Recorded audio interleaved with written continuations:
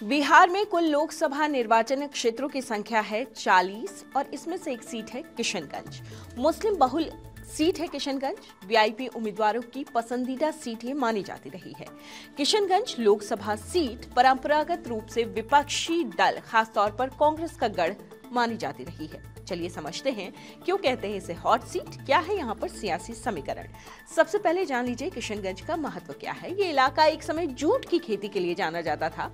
किशनगंज बिहार में एकमात्र जिला है जहाँ चाय के बागान है। लगभग दस हज़ार हेक्टेयर में चाय बागान फैले हैं।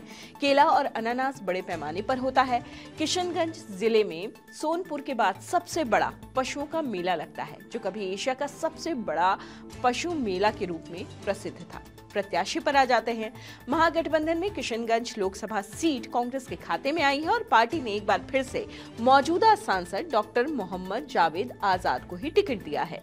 वहीं एनडीए में ये सीट आई है जेडीयू के खाते में और पार्टी ने मुजाहिद आलम को उम्मीदवार बनाया है।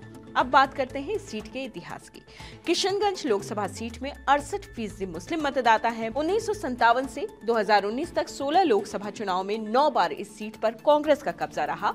बीजेपी को सिर्फ़ एक बार 1999 में मौका मिला, जब त्रिकोणीय मुकाबले में शहनवाज हुसैन जीते। पिछले तीन चुनावों से कांग्रेस ही एक सीट जीतती रही है और दिलचस्प बात यह है कि 2019 के लोकसभा चुनाव में बिहार की 40 में से महागठबंधन का सिर्फ़ किशनगंज लोकसभा सीट पर ही कब्जा हुआ था।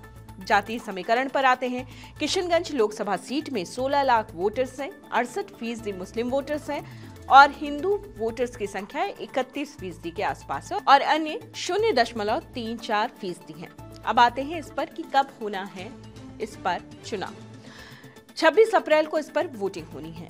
तो ये खबर आपको कैसी लगी, हमें ज़रूर बताइएगा। कमेंट बॉक्स के ज़रिए इस तरह की तमाम खबरों से अपडेट रहने के लिए लाइक कीजिए शेयर कीजिए सब्सक्राइब कीजिए इंडिया टीवी